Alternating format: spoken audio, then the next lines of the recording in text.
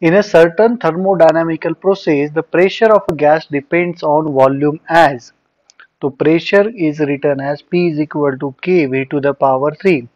The work done when the temperature changes from delta T is equal to 200 degrees Celsius will be NR where N denotes a number of mole of gas. Right? How to find work done? See, we have formula for work. Work is equal to integration of P with respect to V. Now, if we use, acha, we have a equation of P. P is equal to given as K V to the power 3 with respect to V.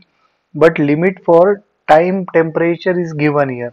So we must convert this equation into the temperature form.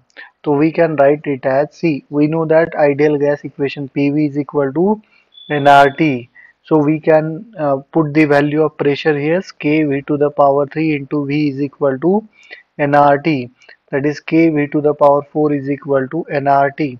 If we differentiate this equation number 1 with respect to temperature then K 4 V to the power 3 dV by dt is equal to nR right and der derivative of t with respect to t is 1 so from this we'll get uh, 3 uh, kv to the 4 kv to the power 3 can be written as again p dv by dt is equal to nr so dv can be written as dv is equal to nr divided by 4p dt. Now put all the data in the formula of work. Work is equal to integration of p. P kya hai p is equal to we have we can put the data p is equal to uh, where is p? Mm, okay we have um, okay okay we'll adjust like this.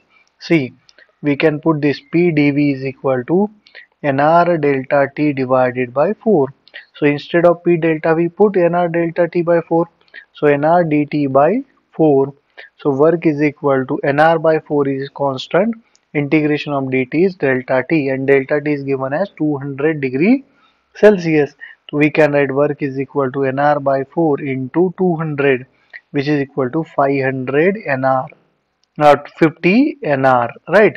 50 nr if we compare with the given data that is nr so value of this is equal to 50 right? So answer is 50